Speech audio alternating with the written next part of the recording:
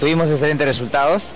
El grupo juvenil de Catá obtuvo cuatro medallas de oro, cuatro de bronce y una de plata bastante, bastante buenos resultados. Ustedes viajaban con estas expectativas porque eh, yo estuve el día que los, que los despedimos a, todos con la mejor de las suertes, deseándole la mejor de las suertes. Ustedes fueron una delegación bastante grande, ¿no? Fueron casi 50, 60, si no me equivoco. Sí, sí, este, la mayor cantidad eran este, deportistas de la modalidad de comité, pero esta oportunidad han podido viajar eh, buen, buen número de deportistas, como lo hacen otros países. A nivel panamericano casi no habíamos estado asistiendo con equipos tan numerosos, pero esta oportunidad hemos tenido eh, esa, esa ventaja de, del apoyo del Estado, de la Federación, en que viajen más deportistas y busquemos ese top internacional que necesitamos para seguir mejorando. ¿no? Rafa, le pregunto un poco para que la gente también entienda un poco lo que es el karate, ¿no? No solamente es el combate, hay dos modalidades, ¿no? Lo que es kata y kumite. ¿Usted cree que nos puede explicar un poco, un poco estas dos modalidades? Sí, exactamente, hay dos modalidades. Uno que es el combate franco entre dos oponentes y, se vence el que mayor puntaje acumula, obviamente.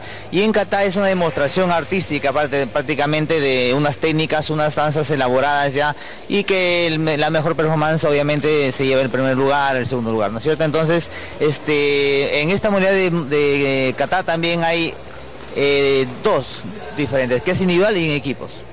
Si no me equivoco, también para que la gente eh, conozca un poquito más también de esto, somos una de las potencias, ¿no es cierto?, eh, en Sudamérica en lo que es Qatar, ¿no? Qatar en equipos masculino y femenino. Sí, sí, en Qatar tenemos este, casi supremacía a nivel de, América en, todas las modalidades, en, este, en toda la categoría juvenil y mayores.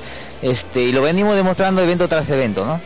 Ahora el mundial que se les viene, se les viene a los juveniles un mundial en, Indonesia, ¿no es cierto? En Jakarta, en noviembre. Sí, estamos este, justamente ya el día lunes debemos estar retomando los entrenamientos ya consiguiendo la planificación para este mundial y veremos este, también qué posibilidad tenemos de existir con un buen número de deportistas, ¿no? Es en la primera semana de noviembre. ¿Cuáles son las expectativas que ustedes tienen en este mundial de karate, ¿no? ¿Cuáles son eh, las ganas con las que van a enfrentar a los otros países?